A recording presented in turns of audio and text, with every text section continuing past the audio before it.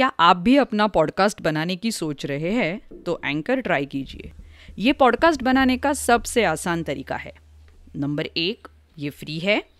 Number दो, इसमें कई सारे ऐसे टूल्स हैं जो आपको अपने फ़ोन और कंप्यूटर पर रिकॉर्ड और एडिट करने की फैसिलिटी देते हैं। नंबर तीन, आप अपने पॉडकास्ट को डिस्ट्रीब्यूट भी कर सकते हैं, जिससे इसे स्पॉटिफाई और दूसरे प्लेटफॉर्म्स पर सुना जा सके। डाउनलोड कीजिए फ्री एंकर ऐप या विज़िट कीजिए एंकर डॉट एफ़ अपना पॉडकास्ट शुरू करने के लिए। बुक्स दैट स्पीक में आप सभी का स्वागत है। एक महीने में खेल दिवस है और मीना को 400 मीटर की दौड़ में हिस्सा लेना है। डगर कठिन है, मगर मीना धीरे धीरे अपने लक्ष्य की ओर बढ़ती है। पहले वो 100 मीटर पार करती है फिर 200 मीटर भी पार कर जाती है। क्या वो 400 मीटर के लक्ष्य को छू पाएगी? आइए मीना के साथ दूरी मापना सीखे। सुनते हैं कहानी, क्या सरपट दौड़ी Meena? Original story, Meena makes a dash, by Pratham Books. कहानी लिखी है अंजलि अलप्पट। चित्रांकन, योगी चंद्रशेखरन। हिंदी में अनुवाद वसुंधरा बहुगुणा। कहानी का वाचन असावरी दोषी।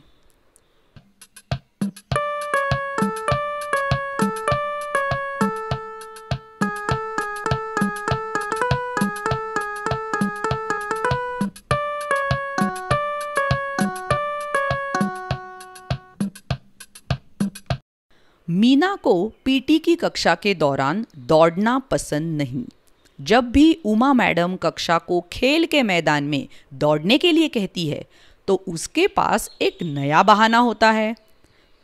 मेरे पाँव में दर्द है, मेरे पेट में दर्द है, शायद वहाँ सांप है। उमा मिस सिटी बजाती है। भूलो मत कि एक महीने बाद खेल दिवस है। आप सभी को 400 मीटर की दौड़ में हिस्सा लेना है। उमा मैडम कहती है, मीना को पिछला खेल दिवस याद है। वो बहुत तेज दौड़ी थी और लगभग अंतिम रेखा तक पहुँच ही गई थी कि गिर गई। सब लोग हंस रहे थे। इसीलिए उसे लोगों के सामने दौड़ना पसंद नहीं। बस अभ्यास करो मीना, जोरा ने कहा।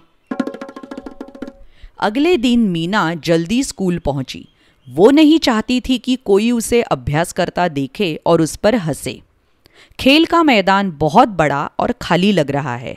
दौड़ने के लिए बहुत जगह है। 400 मीटर की दूरी कितनी होगी? उसने उमा मैडम से पूछा।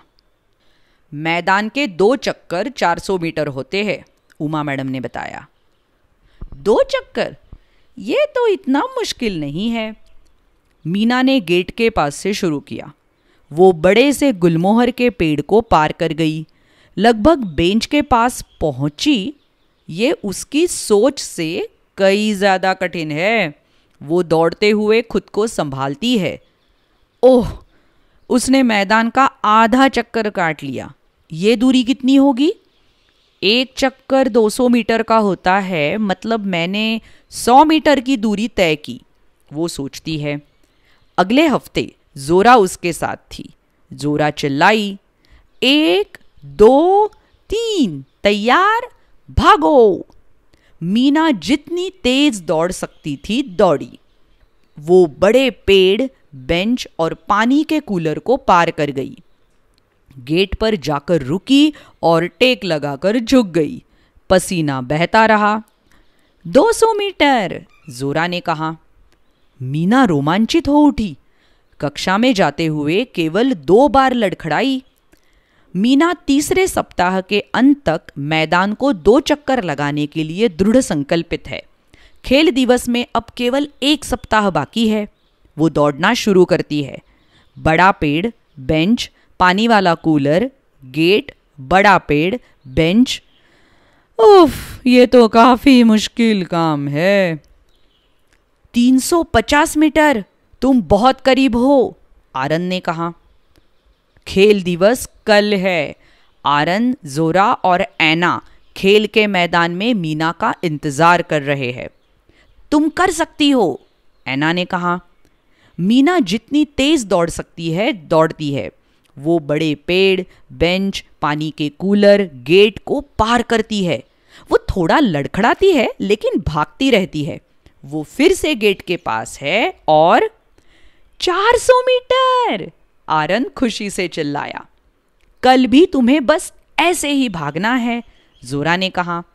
बिना लड़खड़ाए, आरन ने जोड़ा। मीना हंसती है।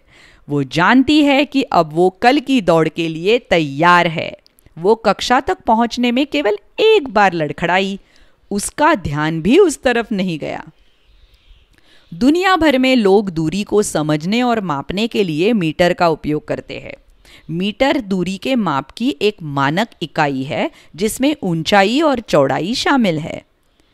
एक मीटर 100 सेंटीमीटर के बराबर होता है और एक किलोमीटर एक हज़ार मीटर के बराबर होता है। तो कैसी लगी ये कहानी? और ऐसी बहुत सारी कहानियाँ सुनने के लिए बुक्स दैट स्पीक ये हमारे चैनल पर ज़रूर आइएगा। यूट्यूब और अलग अलग पॉडकास्टिंग चैनल्स पर। हमारी वेबसाइट है www.booksthatspeak.com मिलते हैं अगली कहानी में। बाय बाय शुक्रिया।